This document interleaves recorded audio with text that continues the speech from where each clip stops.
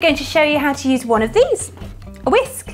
Shall we get going? Yes. Have we washed our hands? Milo, have you washed your hands? Mm-hmm. Have you?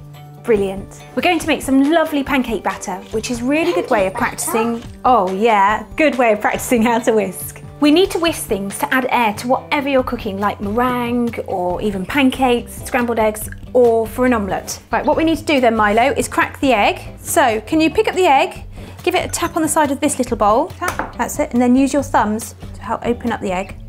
Hey, well done, fantastic. Brilliant. And then we use the bowl to tip the egg into that big bowl. Blub, blub.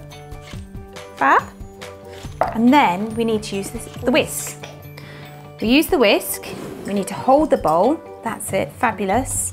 So Milo, you keep whisking that round, holding the bowl. Madeleine, I'm going to get you to sift the flour if that's okay. Now you can tap and bang the flour or use the back of a spoon to push it through.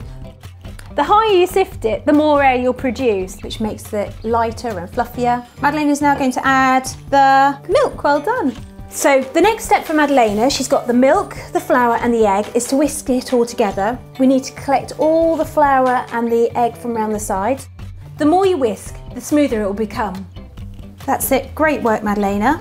Can be quite stiff on the shoulder, but just persevere. You can swap round and use the other hand as well if you need to. So Milo, why don't we add the extra egg into the bowl? And then, Madeleine, you keep whisking. That's it. You poured it in. Brilliant. We're using clear bowls because then we can actually see where the lumps are. Milo, can you see any lumps through the side? Let's lift it up and have a little look. Can you see any lumps? Nope. No, she's doing a really good job, isn't she? Yeah. Shall I show you how to do a figure of eight? So if you want to hold the whisk in this hand, and basically you just turn back and forth in a nice big double loop, like the number eight. That's really good. And then I'll show you a folding one, shall I? So this is the way that we fold. We basically pull the whisk forward and draw it back. Pull the whisk forward and draw it back to lift up the mixture and develop the air through it. You really can get it going and this is a really lovely way of mixing and whisking. Gotcha. Right,